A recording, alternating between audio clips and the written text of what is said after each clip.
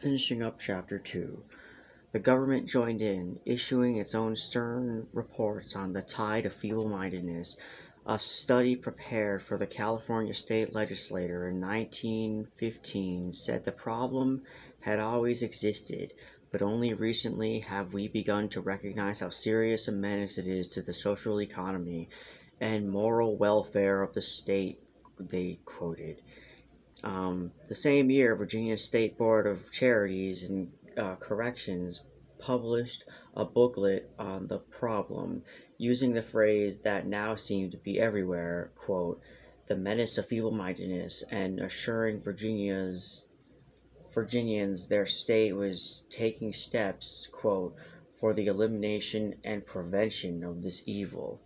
Yeah, they were literally thinking of these people as evil. This is how they're swaying the populace, by the way because you know obviously people everyday people aren't looking into this and they think that people who are looking into this are, are on their side but yeah this is basically like witch hunt shit.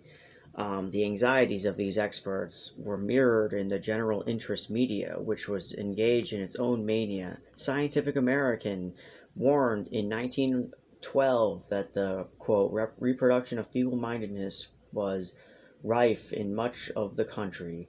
An article the following year in Life and Health, the National Health magazine, help, helpfully explained that the time was approaching when feeble mindedness, which was, quote, definite inheritable Mendelian unit trait, could be eliminated, allowing society to cultivate instead the valuable physical and mental traits and talents. For sheer poignant, poignant, poignancy, um, mixed with strong dose of alarm, few articles could rival, quote, The Village of a Thousand Souls, published in the American Magazine in 1913. Arnold Gesell, who was then a, jur- a junior professor at Yale, returned to his all American hometown of Alma, Wise, Wisconsin. Gesell claimed to have found that about a quarter of the residents showed signs of feeble mindedness or insanity, and he called for eugenic measures, including isolation and uh, to uplift his uh, uh, hometown eugenics, and the mania over feeble mindedness arrived at a time when America was particularly receptive. The start of the 20th century was an era of fast paced, disruptive change. A rural residents fled farms and small towns. The United States was transforming from a predominantly rural nation to an urban industrial one, and in the process, community and family ties were breaking down and in the process, this was taking place. Uh, community was breaking down as industrialization was taking place. Yeah. At the same time, immigrants were arriving in record numbers, dramatically altering the country's religious, cultural, and racial makeup. Um, but this didn't have any. Uh, this had no ties to the uh, the stresses of the industrialization world that they were dealing with, which was uh, dividing up families and such like that but this was soon used as an excuse for the dividing families and stressful times that the Industrial Revolution was causing. Um, anyways, these rolling changes caused considerable social anxiety and ushered in what the historical Richard Hofstadter called the Age of Reform. Native born, white middle class, Protestant American Americans mobilized to put their own imprint on a nation in transition by uniting behind an, ar- an array of causes. They fought corrupt urban political machines. They agitated for safer factories and against child labor. They campaigned for improved public education and for women's rights. These reform campaigns were one history of a period explained a response to the crisis caused by the great changes the nation was undergoing, quote, a counter to these movements that threatened to transition that trend threatened to transform American society in more fundamental ways. If the age of reform was about native born white Protestant middle class trying to build the nation in its own image, eugenics fit right into the ethos of the era. The reformers believed in using intell- intellectual tools, including science, to uplift and purify society, and this was just sort of the promise eugenics was holding out.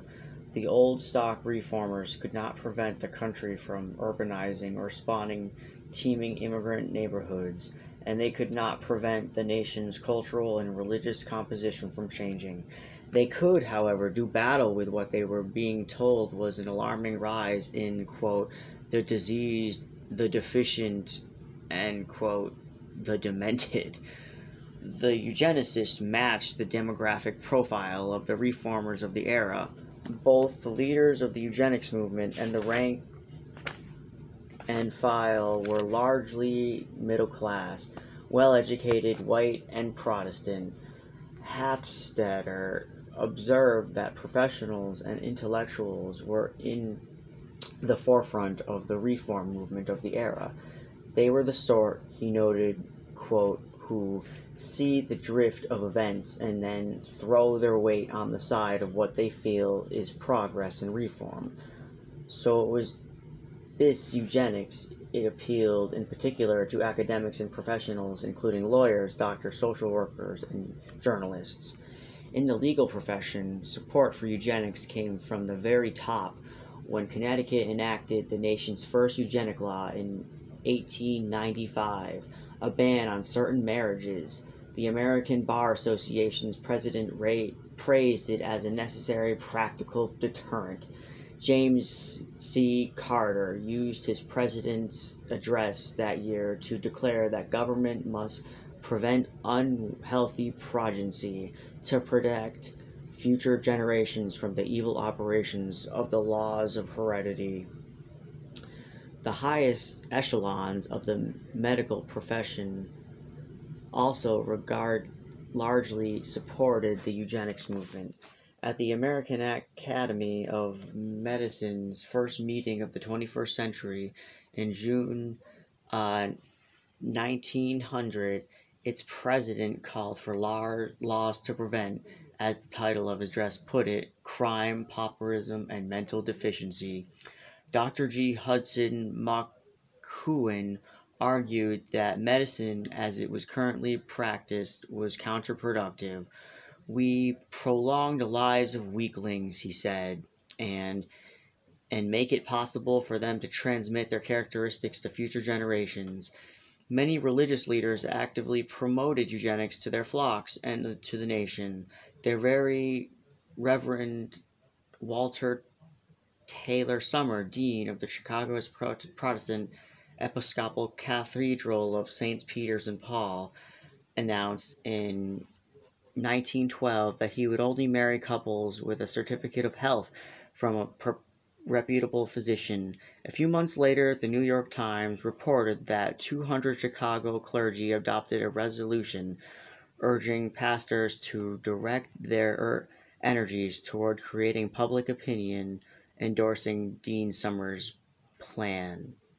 Other religious leaders offered their houses of worship.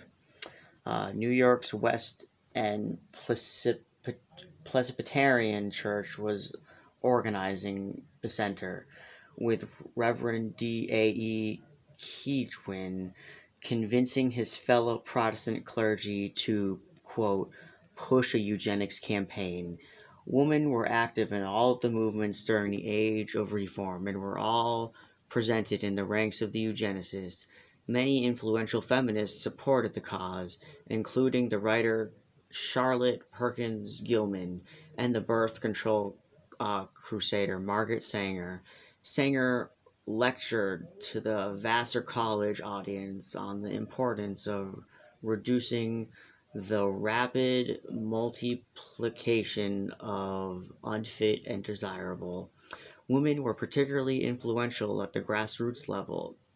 In the early 21st century, women were largely excluded from politics and public policy They could not vote until 19th Amendment was ratified in 1920. Many legislators, however, considered eugenics, eugenics with its focus on reproductive issues a proper realm for female guidance. Women were among the most active lobbyists for eugenic laws of all kind. The historian Edward J. Larson, in his study of Southern eugenics, concluded that in every state in the Deep South, uh, federated women's clubs played a decisive role in establishing eugenically segregated institutions for the mentally retarded. So basically, yeah, women were pretty influential in this stuff, but I feel like it was tainted by the overall attitude that the patriarchy had set in stone. And so women were merely picking this back up and utilizing it as society had already been using it. So there wasn't much of a nuanced position when it came to like consent in the matter.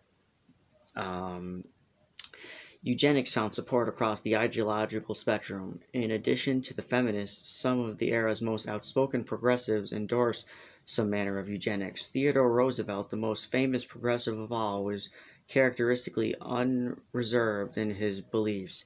A few years after leaving the White House, he wrote a magazine article declaring, I wish very much that the wrong people could be prevented entirely from breeding.